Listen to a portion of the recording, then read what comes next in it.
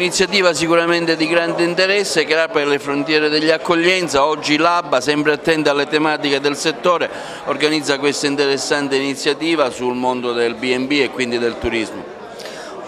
si prevede un grande successo, gente da tutta la provincia, quindi il tema era interessante, questo aumento esponenziale dei B&B sicuramente provoca occupazione, l'ABBA sembra attenta ai segnali che provengono dal territorio, oggi vuole fornire un tavolo tecnico, con un tavolo tecnico tutte le risposte necessarie per agire nella totale legalità. Assessore Lobello, ecco un momento importante, oggi si parla, si apre questo faro sul mondo del B&B che stanno dando tanto contributo al turismo, alle attività produttive, ma anche un momento per fare delle riflessioni sul, sugli aspetti anche legali del, del settore che è un po' magari lasciato a se stesso. Beh sì, è una, nuova, è una nuova, esperienza soprattutto per la nostra regione, però abbiamo visto che, ha, che rappresenta in questo momento davvero dei grandi numeri perché rappresenta la nuova frontiera dell'accoglienza,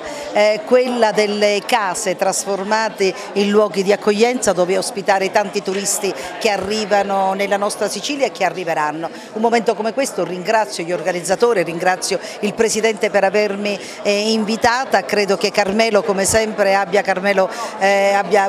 proprio visto quali sono le esigenze in questo momento del settore ed organizzando questo momento è anche per me occasione utile per parlare dei nuovi bandi, dei bandi a cui possono partecipare eh, i proprietari dei B&B eh, per trasformare questo non soltanto in eh, occasione di accoglienza ma io mi permetto di dire anche per cercare di costruire una rete che possa dare quei tanti tanti tanti posti letto di cui la Sicilia nei prossimi prossimo, nei prossimi anni avrà bisogno. Sono previste misure anche per questo settore? Assolutamente sì, sono previste misure, abbiamo tre misure che riguarderanno proprio il settore del turismo eh, e lì oggi eh, diremo che prossimamente questi bandi escono, presumiamo il prossimo venerdì per cui ci sarà certamente una grande attenzione perché sarà una grande opportunità. Uno dei fini istituzionali della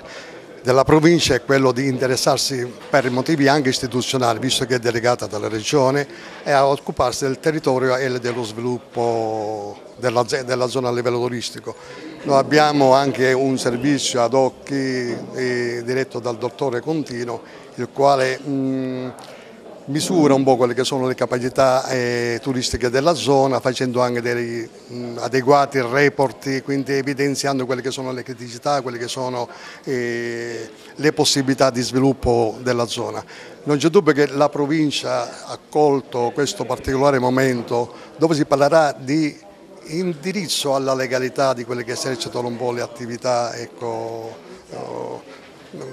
delle persone che vengono a fare villeggiatura da Agrigento, ma principalmente vogliamo dare anche quel segnale forte di legalità, cioè fare in modo che le persone che aprono certe attività eh, di accoglienza sappiano cosa fare, come comportarsi nel rispetto di quelle che sono le normative di carattere civile, amministrative e anche di carattere tributario.